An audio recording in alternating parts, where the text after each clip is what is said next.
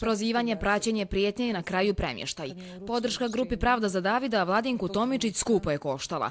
Ona živi u Banja Luci i od 2005. godine radi u MUP-u Srpske. Međutim, kao samohranoj majci nedavno joj je iznenada stiglo rješenje o hitnom premještaju u Prijedor. U Upravi za pravni kadrovske poslove u MUP-u sjedištu u kojem ja radim, znači 15 godina, ovo je prvi slučaj gdje je došlo do takvog, takvog premještaja. Ono što Osim mene, premještena je i kolekcija Dragana Kljajić, također samohrana majka.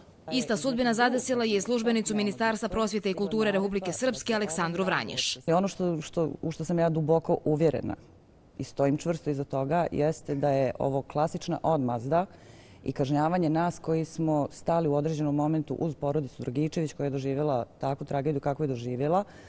A zašto to govorim? Pa prosto iz razloga što E, E, preko 15 slučajeva koliko smo mi uspjeli da izbrojimo samo ovih ljudi koji su dostavili svoje rješenje nama na grupu e, i nebrojeni koji se nisu javili sa rješenjima, ali koji su svakako trpile određene vrste pritisaka na svojim radnim mjestima, govore da to jeste nešto sistemsko, da to jeste nešto ukazuje na, na, na nešto više od problema u jednoj organizacijonoj jedinici, u jednom ministarstvu ili nekoj drugoj jednoj instituciji. Ovi službenici su, kažu, kažnjeni za ustavom zagarantovano pravo na slobodu mišljenja i izražavanja. U tom momentu, kada dobijam rješenje, dešava se jedna konfuzija u glavi. Razumijete, vama prolazi kroz glavu dijete, kredit, vi birate između posla i djeteta, dovedeni ste u situaciju da li da dam otkaz. Ovo znači ili ćeš ići ili daj dobrovoljno otkaz. Ovo je klasično kršenje ljudskih prava, ističu stručnjaci.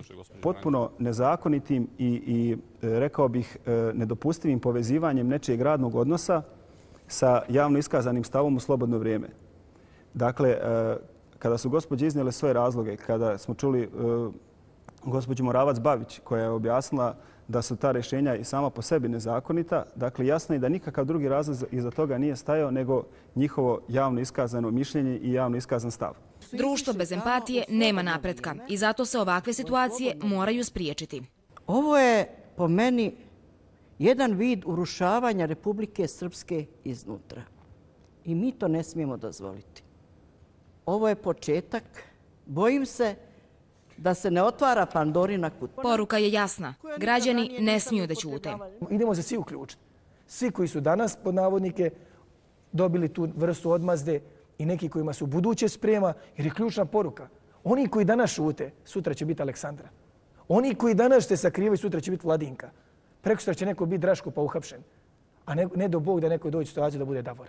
Desetine javnih službenika i radnika dobili su premještaje. Suočavali su se ili se još suočavaju sa prijetnjama i raznim poniženjima. Istaknuto je u emisiji Izazovi Ben televizije. Pozadina kod svih je ista. Podrška istini i pravdi. Postavlja se pitanje, gdje je tu logika ako već nema empatije? Odbor državne uprave za žalbe